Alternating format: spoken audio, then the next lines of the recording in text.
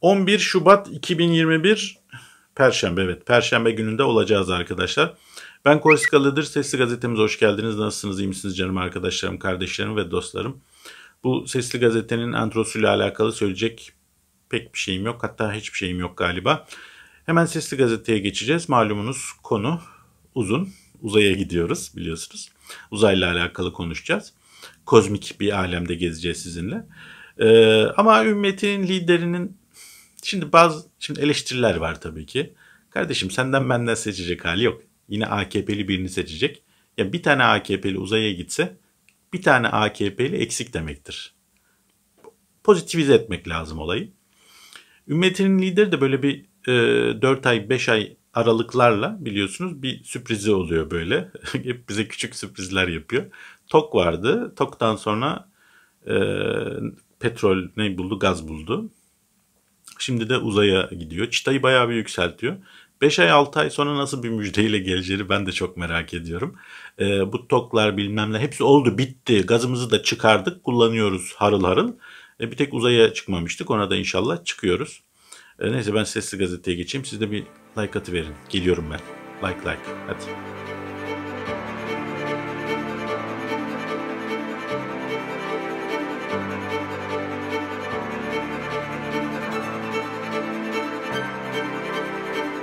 Evet arkadaşlar artık uzaya gidiyoruz. Herkes valizini hazırlasın. Ee, içinizden bir tane şanslı TC vatandaşı. TC vatandaşı derken KYK'lı falan olmayacak ha onları statüye bile almıyoruz. Ee, affedersiniz Ermenidir, Gürcüdür falan öyle şeyler de olmayacak. Yerli ve milli olacak. Yani işte bayanlar bile isteyenler çıkıyor arasından ama ona da düşünüyoruz bir diyanete sormamız lazım. Yani kadının uzayda ne işi var canım? Yani evinde otursun, yemeğini yapsın, hamurunu yoğursun. Bakacağız Diyanet'ten gelen fetvaya göre belki o da bir ihtimal yani. İşte dediğim gibi 18-19 yıldır AKP iktidarda. Ee, yaklaşık 2011-2012'ye kadar Türkiye'de muhalif bir medya olduğu için bir şeylerin sorgulanacağından dolayı bu kadar atıp tutamıyorlardı. 2012'den sonra bunlar freni patlak kamyon gibi böyle e, Alice Harikalar Diyarında moduna geçtiler birdenbire. İşte görünmez uçaklar yani uçak olmadığından değil görünmediği için biz onları göremiyoruz. Ee, ondan sonra TOK otomobiller, TOK otomobillerin fabrikaları yapıldı. TOK'ların uçan modelleri bile yapıldı yani uçan arabalar biliyorsunuz. Ee, petrol bulduk biliyorsunuz. Ee, doğal gaz filan artık hani yağ çok olunca orasına burasına sürermiş. Artık Türkiye'de şeylerden akıyor yani. Musluklardan akıyor doğal gaz öyle bir şey. Akıyor işte. Ondan sonra işte en son ümmetin lideri 5-6 ayda böyle bir sürpriz e, vatandaşlarına ufak sürprizler yapıyor. Seviyor bunu. En son sürprizi de uzaya gideceklermiş. 10 tane madde hazırlamışlar. Evet 10. adım. 10. adım. 10 tane adım varmış arkadaşlar. O 10 adımın içerisinde enteresan adımlar da var. Oraya da oraya da geleceğiz biraz sonra. 10. adım bir tane uzaya TC vatandaşı göndermek istiyoruz. Türkiye Cumhuriyeti vatandaşı. Dediğim gibi içinizde KYK'lılar falan varsa yani siz pasaportunuz bile yok. Yani sizin öyle bir statünüz yok. Siz ağaç yemeye, ağaç kabuğu kemirmeye devam edeceksiniz arkadaşlar. Öyle bir söz konusu olamaz.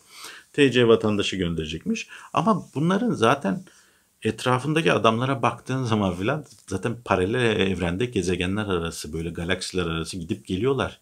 Yani kafa gidip geliyor en azından. O işte Yeni Şafak yazarı bilmem e, Abdurrahman Dilipak filan adamların söylediklerine baktığında işte biz ekonomimiz çok iyi gidiyor şöyle olduk böyle olduk filan böyle. Yani bunu ancak böyle kafası gelgit olan birisinin söyleyebileceği bir şey. E, onlar şimdiden başladılar zaten. 3-5 yıldır böyle bir yolculuk, bir seyahat yapıyorlar yani bu paralel evrende. Ondan sonra bu konuşmasında şey diyor. Hatta bayanlar bile demin diyorduk ya. Bayanlar bile yani içlerinde istekliler varsa diyor. Bayanlar bile ne dediğini bilmiyor ya. Bilenin ne manaya geldiğini cümle içerisinde bilmeyen bir cumhurbaşkanı bu adam. Bayanlar bile. Ya dediğim gibi işte yani insan değillerdi. İşte bakarız duruma göre bayanlar bile. Ondan sonra turistik olarak değil ha. Diyor turistik olarak değil ha. Öyle gittin mi tabii. 3-5 aylığına gideceksin. At sırtında gidiyorsun yani. Gitmişken orada bir kalınır değil mi? Böyle oranın dilini öğreneceksin. Havasını suyunu koklayacaksın. Toprağını içine çekeceksin. Şöyle orada biraz çalışacaksın. Para kazanacaksın.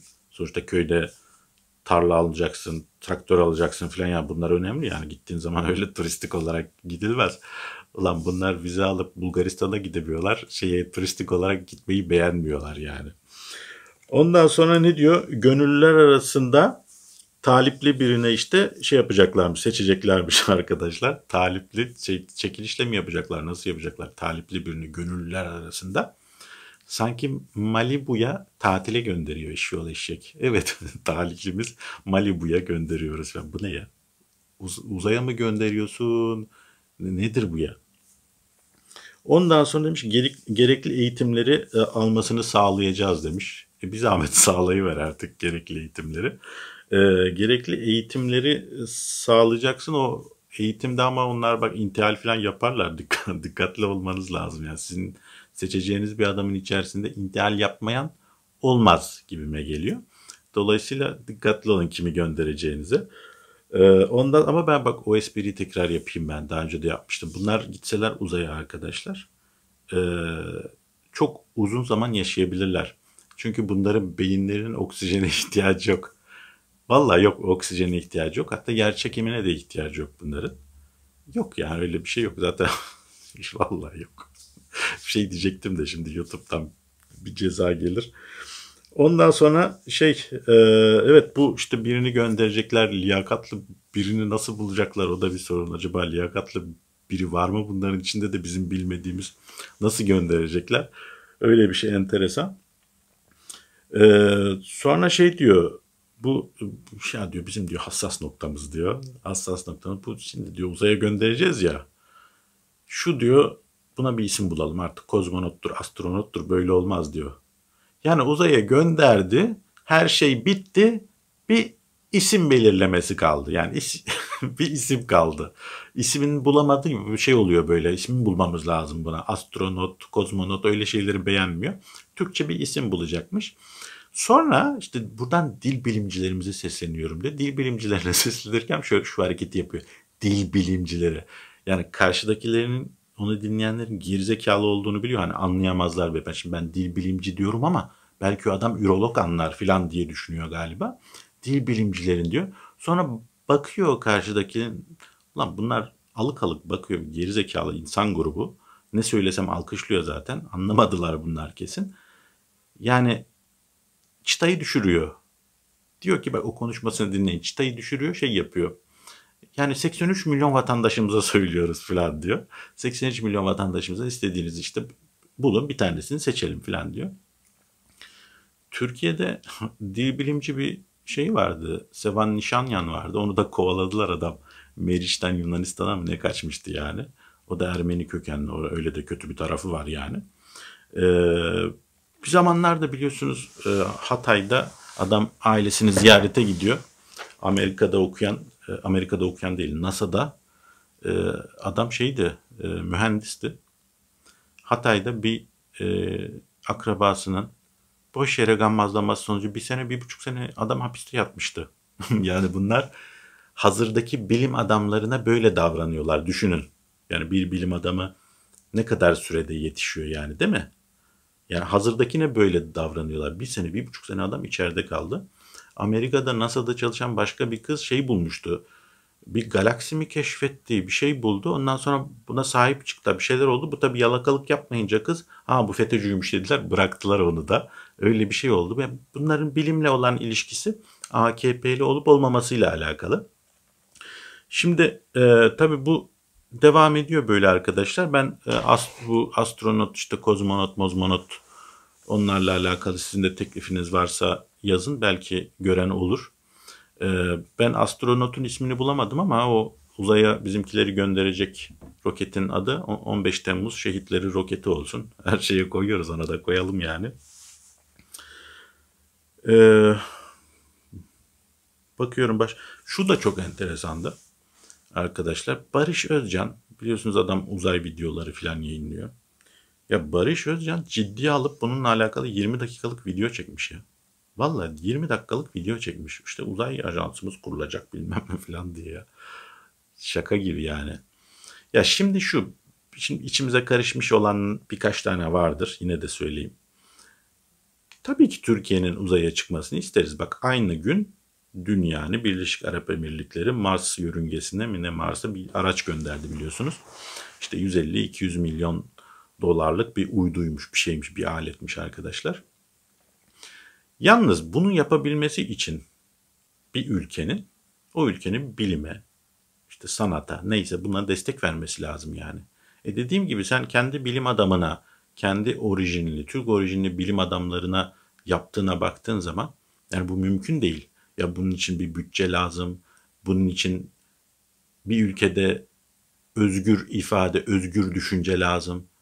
E sen şimdi yaparsın yarın bir işte uzay atölyesi, neyse uzay sanayisi bilmem nesi.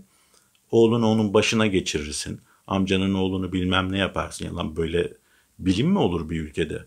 Yani Türkiye bunu yapamaz demiyoruz. Türkiye yapar da bu heriflerle yapamaz. E belli 6 ayda bir adam sürpriz adı altında yalan söylüyor millete. Onu millet de alkışlıyor onu yani. Şimdi bunlar tabii olurken e, şu çok enteresan. Po- polis ekipleri ele geçirdikleri uyuşturucu paketleriyle 2023 uzay yazdı. Hemen gaza gelmişler. Daha önce de uyuşturucu yakalamışlardı. Onunla ay yıldız yapmışlardı. Böyle işte AKP polisi. Ee, Mustafa Varank ne demiş? Uzayda paranın nereden kazandırılabileceğini biliyoruz. Kumar. Kumarda iyi para var. Yani dünyada haram olabilir ama uzayda bence haram değildir. Bence deneyin o da. Ee, Bahçeli sarayın fışfışı isim bulmuş arkadaşlar. Astronot yerine isim önerisi Kaka Bey. Caca Bey bu neyse Caca Bey. Ee, ama bu Angut iki kelime İngilizce bilmediği için şimdi bu Kaka Bey dedikleri Caca Bey yani İngilizler bunu okurken Kaka Bey diye okuyacak. Kaka Bey, Kaka Bey. Yani sen kafan çalışmıyor mu yani? Bilmiyor çünkü adam. Dünya görüşü der. Caca Bey, Kaka Bey. Tövbe estağfurullah. Ondan sonra dur dur daha geliyor. Bak daha güzel şeyler var arkadaşlar. Ee, BBC News Türkçe'nin bir haberi uzay ajanslarının bütçeleri. NASA'nın uzay ajansı bütçesi arkadaşlar 23 milyar dolar. Ee, Avrupa Birliği'ninki 7.3 milyar. Ee, Rusya'nınki 1.7 milyar. Almanya'nınki 1.3. İngiltere'ninki 517. Japonya'nınki 500 milyon dolar gidiyor. Türkiye'nin TUA, Türkiye Uzay Araştırmaları 5.4 milyon dolar. 5.4 milyon dolar AKP'li herhangi bir adamın rüşveti. Bu yani. Bununla mı göndereceksin sen? Yani hayır sen para bulsan onu hemen kendine saraya çevirirsin zaten. Uzayla muzayla senin ne işin olur yani? Umurunda bile olmaz. Türkiye kalkınmış bilmem ne olmuş falan. Bir tane de manyak çıkmış.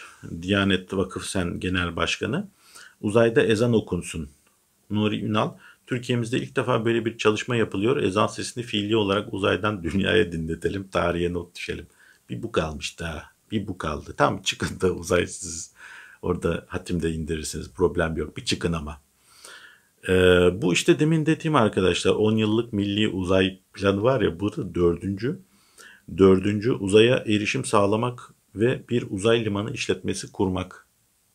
Uzay bak burada bir liman işletmesi kurulacaksa burada bir ihale vardır. Yine bir ihale çakacaklar yani. Yine Mehmet Cengiz ama Mehmet Cengiz uzaya kadar çıkabilir mi bilmiyorum.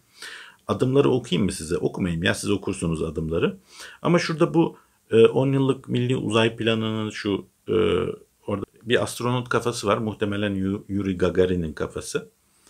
E, kaskında CCCP yazıyor.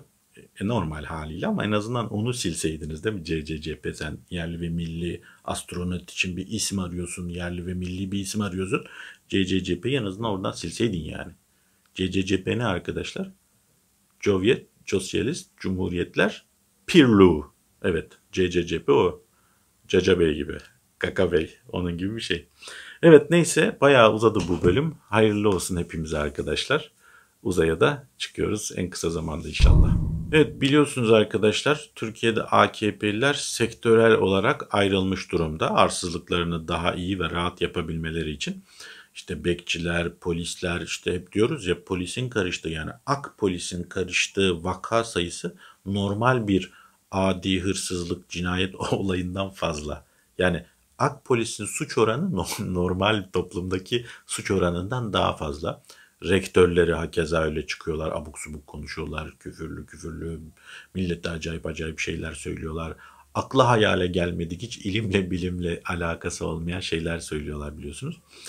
Bu Boğaziçi Üniversiteli öğrencilerle alakalı bir tane e, ne ne hangi üniversitedenmiş bu herif ya? Bir üniversiteden işte Cevdet Kılıç'tı bir rektör, dekan mı neyse arkadaşlar. Boğaziçi'li misiniz, boğaz dışılı mısınız onu bunu bilmem. Aklınızın ucundan bile geçirmeyin. Biz abdest alır dışarı çıkmayız. Bizim zaten abdestimiz var bilin istedik de. Şunu söyleyeyim siz hani bir ayı geçti eylem yapıyorsunuz ya biz eylem falan yapmayız. Biz gece vakti işi bitirir ertesi gün işe gideriz bilin istedim. Troll ya. Bildiğin troll böyle bir dili kullanmak için. Trollden başka yani troll olmak lazım. Ee, ondan sonra tabii bu bunu söylüyor. İşte bir tanesi e, kesin bu da şey yapmıştır. Öğrencilerini fişleyip e, Zula'ya işte mühimmat falan saklamıştır. Bir tane de bir kadın vardı ya bilmem ne Noyan.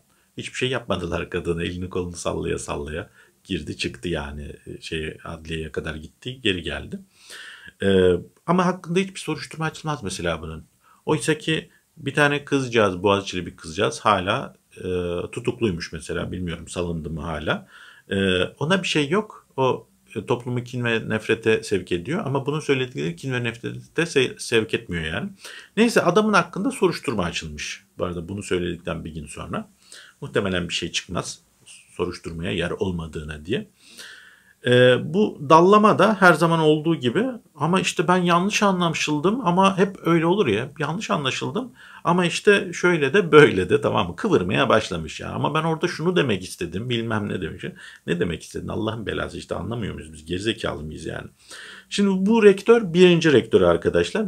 Evet, ikinci rektör haberi de arkadaşlar. Kocaeli Üniversitesi Rektörü Saadettin Hülagü'nün oğlu Taha Hülagü Sınavsız olarak önce AKP'li Kocaeli Büyükşehir Belediyesi'nde özel kalem müdürü oldu. Burada bir gün çalıştıktan sonra memur sıfatını alan Hülagü Cumhurbaşkanlığı kamu diplomasisine geçti. Hülagü isminden de belli yani Hülagü. E, hallaç pamuğu gibi atıyorlar bu devletin işleyen sistemini. Yani artık işlemiyor da.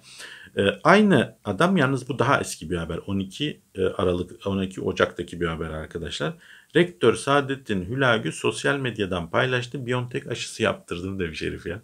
Valla bir de bunu salak gibi şeyden paylaşmış adam. Ekim'de yaptırmış bir de Kasım'da yaptırmış. Bir de sosyal medyadan bunu paylaştım, paylaşıyor yani adam. Şimdi AK Parti'nin rektörü bile şey yaptırdığına göre, Biontech yaptırdığına göre ümmetinin lideri Çin aşısı mı yaptıracak? Çinlerin bile biz hala bunun işte birinci, ikinci fazını hala onaylamadık diyen büyükelçisinin söylediği bir aşıyı mı yaptıracak? Millete Çin aşısı kendilerine böyle en kıyak aşılardan yaptırıyorlar. Valla iki tane rektör haberi görüyorsunuz. Üç tane haber, iki rektör haberi. Ee, şey işte bunların bilim adamları böyle arkadaşlar. Bilim adamları, ilim adamları böyleyse AK Parti'nin ak işte zihniyeti e, uzaya böyle adamları gönderecekler. Bunlarla uzaya gidilebilecek bir sistem kurabileceklerini düşünüyor bu adamlar. Enteresan. Gestapo şefi hala mahalle karısı modunda car car car. İçişleri Bakanı Soylu'dan Katipiri'ye kirli taleplerinle yaşlanacaksın. Kötü isteklerin Türkiye'de hiç gerçekleşmeyecek demiş. Ee, Abdullah Kığlı. Abdullah Kığlı arkadaşlar bir ay önce adam şey diyordu. Ülkede ekonomi çok kötü falan bir şeyler diyordu. Bir ay geçmedi. Pandemi süreci bitsin Türk ekonomisini kimse tutamaz. AK Parti ile ülkemiz 50 yıl ileriye gitti. Erdoğan'ın giyim tarzını çok beğeniyorum. Kombini de çok iyi yapıyor demiş. İyi kombini yapıyor falan o kareli gömlekleri bilmem ceketleri falan var. O çok iyi falan demiş. Bu kadar zevksiz bir adam gitmiş Kığlı diye bir şey mağazası açmış. Giyim mağazası açmış. Enteresan o da. Ne oldu da yani bir ayda ne değişti desen Türkiye bir aylık değişimle sendeki bir aylık değişimle Türkiye 50 yıl ileriye gitti. Ne oldu yani çok enteresan. İşte bu kafayla uzaya biz gideriz arkadaşlar kesin gideriz. Ee, Cüneyt Özdemir'den Mahir Ünal'ın çiftçiye verdiği yanıta yorum. Ee, geçen yaptık bunun haberini biliyorsunuz. Bana tuhaf gelmedi ya diyor. Bir yandan 5 kuruşun yok bir yandan da iPhone 6 alıyorsun falan diyor. Yani aklına insanın şu soru geliyor yani insanların hani muhtaç olduğunu anlamaları için hangi telefonu kullanmaları lazım?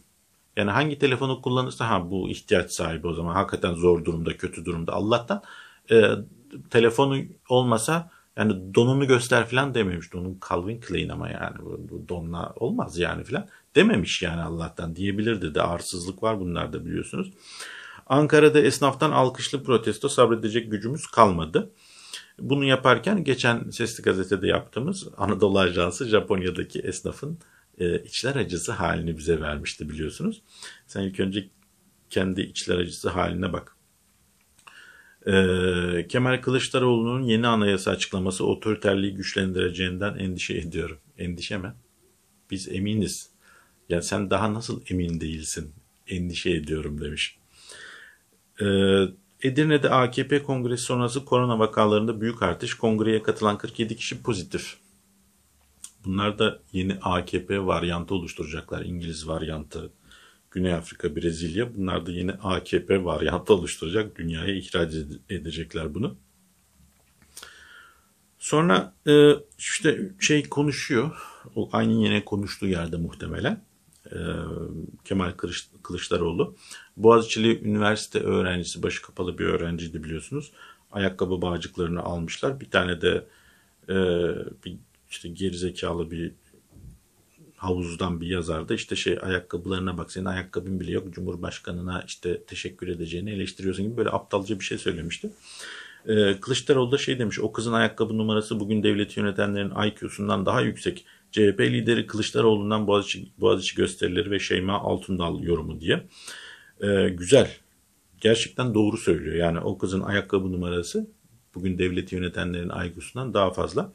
Yani sen doğru söylüyorsun da o IQ'su düşük dediğin adamların söylemini sizinkiler sağlam bir şekilde 2015'ten 2000 kaç işte darbe darbeden beri sürekli tekrar ediyorsunuz ve o IQ'su düşük adamlara bir meşruiyet kazandırıyorsunuz. FETÖ, FETÖ, FETÖ, FETÖ, FETÖ.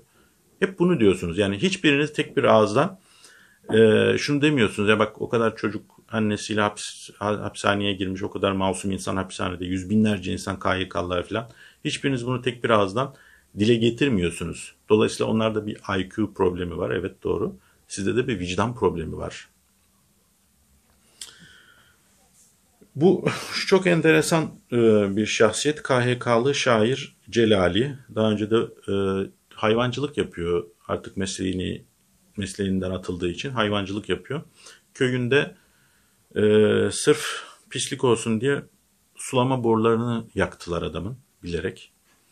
E, sulama borularını yaktılar. Sonra işte herkes bir el attı imece usulü. Adama tekrar sulama boruları falan alındı.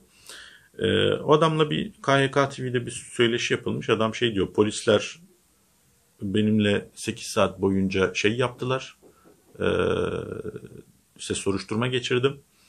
Adam bana okul soruyor, dershane soruyor, dergi soruyor. Yeter artık dedim. Bana silah sorun, öldürdüğüm adamları sorun. Beni terörle suçluyorsanız hangi silahlı eyleme katıldığımı, kimlere ateş ettiğimi bana söyleyin demiş ya tamam mı? Öyle biliyorsunuz işte bankaya para yatırdın mı bilmem ne. Hep bunları soruyorlardı diyor. Bu haberi niye hani geçtim, seçtim? E, çünkü biraz sonra anayasa, anayasayla alakalı bir şeyler söyleyecek de ümmetinin lideri. Ümmetinin lideri işte konuşuyor. 84 e, milyonu partimizin üyesi olarak görüyorum demiş. 84 milyonu. 84 milyon. 84 milyonu partinin üyesi olarak nasıl görürsün biliyor musun? Aynı işte o işte tek parti nasıl olursa bir faşist bir e, yönetimde işte Mussolini, Adolf Hitler yönetimlerinde herkes o partinin üyesidir yani. E, bence bilinçaltından söylüyor bunu. Başka bir partiye oy veremeyecek durumdaysanız 84 milyon kişi işte Çin'de mesela bugün herkes Komünist Parti'nin üyesidir yani. Başka parti var mı? Yok. Ee, Evet, ümmetinin lideri İzmirlilere seslenmiş. Ya suyunuz yoktu sizin. Ya. Yani nazlanıyorsunuz böyle şikayet ediyorsunuz. Oradaki ya o manaya geliyor. Bunun yağlarına gıcık oluyorum ben. Ya falan diyor ya böyle. Ee, ya su, suyunuz yoktu sizin. İzmir'e suyu biz getirdik demiş. Suyu biz getirdik. Yağmur olduk yağdık oralara. Ee, 2002'de geldi değil mi AKP? 2002'de ben üniversiteyi bitirdim. 5 ee, yıl İstanbul'da okudum. 5 yıl kaldım. Ee, ilkokulun sonları, ortaokul, lise hayatım hep İzmir'de geçti. Bornova gibi bir yerdeydik. Yani İzmir'in böyle uzak uzak bir ilçesi de değil. Ya mesela o zaman suyumuz yoktu bizim hakikaten. Suyumuz yoktu. Götümüzü taşa kayaya silerdik mesela. Öyle bir durumdu yani. Sağ olsun ümmetin lideri geldi. Suyla tanıştık. Acayip bir şey. Başka neler görüyorum? Ayasofya baş imamı. Başçıbanı. Ee, 1921 ve 1924 anayasalarında laiklik yoktu. Cumhuriyet fabrika ayarlarına dönsün demiş. Dönsün de hangi fabrika? Ülkede fabrika bırakmadınız. Fabrika mı var? Hangi bir fabrika göster satmadığınız, bozmadığınız, yıkmadığınız da o şu fabrikanın ayarlarına dönsün diyelim. Laiklik kadar kafana taş bilmem nerene bilmem ne olsun diyecektim ama artık demeyeceğim onu. Ümmetin lideri demiş ki hazinemiz şu anda tamamen esnafımızın ve milletimizin emrindedir. Emin misin? Emrinde. Nasıl bir nasıl bir emrinde? Gerçekten mi yani? Demin kan ağlıyordu bak haber, haberini yaptık. Esnaf kan ağlıyordu. Bir hafta olmadı da terörist ilan etmişti adamları. Yağ satanları ayağınızı denk alın falan diye biliyorsunuz. Soğan patates satanları terörist ilan etmişti. Şimdi de emrindeymiş. Çok iyi. Demin dedi ya ümmetinin lideri İstanbul'a şey İzmir'e suyu biz getirdik diye bitmemiş ha. Demiş ki İstanbul ve Ankara Allah'tan kar yağdı da barajlar doldu. Tabi bunların bereketi yani kar, yağmur falan çok bereketliler. Bazen o kadar bereketliler yağmur selde olabiliyor ama onların aşırı bereketinden dolayı oluyor bu. Ee, İstanbul'daki barajları da biz yaptık tabi. O yere batan sarnıcını bilmem o orada kemer ver un kapanından geçen unuttum adını. Onları falan hepsini bu Topkapı gibi. Bunlardan önce zaten 2002'den önce Türkiye bir gaz bulutuydu. Dünya değil Türkiye gaz bulutuydu. Sonradan birdenbire 2002'de yaşam belirmeye başladı AKP ile birlikte. Bu sayede susuz kalmıyor. Manyak ya her şeyi bu yaptığını zannediyor adam Türkiye'de. Mardin'e de mi ne gitmişti? Şırnak'a gitti. Doğalgazı getirdik de doğalgaz yok orada. Mardin'e gitti burayı bilmem ne yaptık dedi. Manisa'da üniversiteyi biz yaptık dedi filan. Halbuki ne zaman yapılmış üniversiteler. Karşıdaki de tabii buna itiraz edemeyecekleri bildiklerinden böyle sallıyor. Geleceğim haber buydu. İşte yeni anayasa öyle bir metin olsun ki tüm dünyaya örnek gösterilsin. Yeni anayasa. Şimdi anayasa yapacakmış. Bu arada bir üstündeki haber de şey Mustafa Sarıgül yeni anayasayı destekleyeceğiz. Türkiye Değişim Partisi Genel Başkanı Sarıgül Partisi'nin genel merkezinde düzenlediği basın toplantısında bu düzenleme ülkemiz için son derece yararlı olacaktır dedi. Ulan oğlum adam bir referandum yaptı 2011'de mi 2012'de miydi neydi? Anayasayı değiştireceğim dedi. Milleti kandırdı. Anayasa değişti mi? Değişmedi. O zamandan beri çoğunluğu var mı? Var. İstese anayasayı değiştirir mi? Değiştirir. Değiştirdi mi? Değiştirmedi. O zamandan beri yani hiç akıllanmıyor musun sen yani? Sen buna destek verince değiştirecek mi bu anayasayı? Değiştirse de kendine uygun değiş, değiştirecek. Neyse işte diyor metininde yeni anayasa öyle bir metin olsun ki tüm dünyaya örnek gösterilsin demiş. Şimdi bak bu mesela burada bir kitap var benim kızın kitabı. İngilizce kitabı değil mi? Bu bir kitap. Şimdi ben bunu kafama vursam İngilizceyi öğreniyor muyum bu kitaptaki her şeyi? Öğrenmiyorum değil mi? Bu kitabı şöyle koysam masanın üzerine. Bu kitaba bakarak içindeki bilgileri süzüp öğreniyor muyum? Var mı böyle bir şey? Yok. Ya bu bir anayasa olsun. Bu anayasayı sen uygulamadıktan sonra dedim değil mi al bunu dür yani bir tarafına sok duhul, duhul et yani. Yani onu uygulaman lazım senin. Sen sanki şu, bugün yaptığın bütün hukuksuzlukların, o içeriye attığın insanların, o zulüm ettiğin, işkence ettiğin insanların müsebbibi sen değilsin anayasa. Anayasa öyle biz anayasaya uyuyoruz valla. Anayasa demese biz o kadar zulmetmeyiz. Öyle bir kafada yani adam. Anayasayı değiştirecekmiş. Değiştirirsin sen anayasayı. Sen olduğun sürece hiçbir şey değişmez o ülkede. Neyse arkadaşlar bitsin. Sesli gazete bayağı uzadı. Birkaç gün sonra görüşmek üzere. Özgür olun, özgür kalın. Anlayışınızdan öpüyorum. Sağlık ve afiyetle canım dostlarım.